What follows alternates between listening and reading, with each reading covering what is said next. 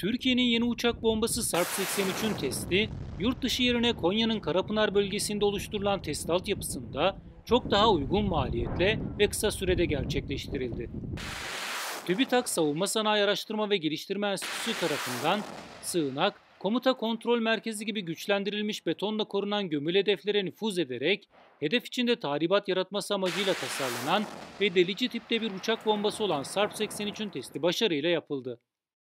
TÜBİTAK SAGE bünyesinde Konya'nın Karapınar ilçesinde yer alan Milli Savunma Bakanlığı'na bağlı Karapınar Atış Test ve Değerlendirme Grup Komutanlığı atış poligonu içinde hizmet veren Hedef Balistiği Raylı Sistem Dinamik Test Altyapısı Habras'ta icra edilen testte daha öncekilere göre pek çok yeniliğe imza atıldı.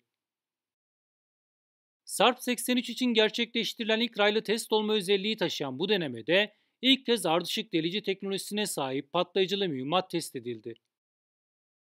Habras altyapısında daha önce yapılan testlerde tekil delicili mühimmatlar patlayıcısız olarak kullanılmıştı. Sarp 83'ün son testinde Türkiye'de ilk defa patlayıcı içeren bir harp başlığı yedek ateşleme sistemi kullanılarak güvenli şekilde patlatıldı. Yine ilk defa mühimmat rayda ilerlerken mühimmat tapasının kurulumu gerçekleştirildi. Söz konusu test, geçmiş yıllarda benzer mühimmat nüfuz edici bomba için yaklaşık 400 bin sterlin karşılığında bir senelik süreçte ancak yapılabilmişti. Son yapılan Sarp 83 testiyle Türkiye, ilk örnekleri ortaya konulan yetenekleri kazanmış oldu. Bundan sonraki süreçte gizli mühimmat projelerinin yurt içinde düşük maliyetlerle kısa sürede test edilebilmesi mümkün hale geldi. 2 kilometrelik ray üzerinde roket motorlarıyla hızlandırılan Sarp 83 testinin icrası 2 haftalık hazırlık sonrasında ilk ateşleme anından itibaren yaklaşık 5 saniye sürdü. Test sonucunda Sarp 83 mühimmatı güçlendirilmiş beton hedefi delip geçmeyi başardı.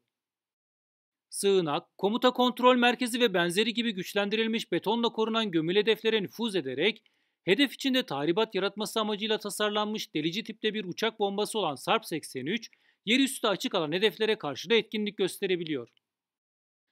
Savaş uçağına 4 adet yüklenebilme potansiyeliyle Sarp 83, uçağın tek uçuşta daha fazla hedefe atak yapabilmesine olanak sağlıyor. İcra edilen testte kullanılan sığınak tipi bir yapıyı koruduğu varsayılan güçlendirilmiş beton blok, test sonunda Sarp 83 tarafından başarıyla delinip bomba içindeki ana delicisi hedefin arkasına nüfuz edebildi.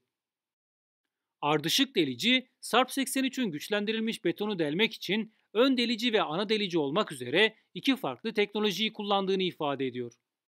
Sarp 83 hedefe çarptığında ön delici ateşlenerek içerdiği çukur imla teknolojisi sayesinde beton üzerinde bir kılavuz deliği açıyor, ana delici ise söz konusu delik doğrultusunda betonu tamamen delerek sığınak içinde patlıyor ve tahribat yaratıyor.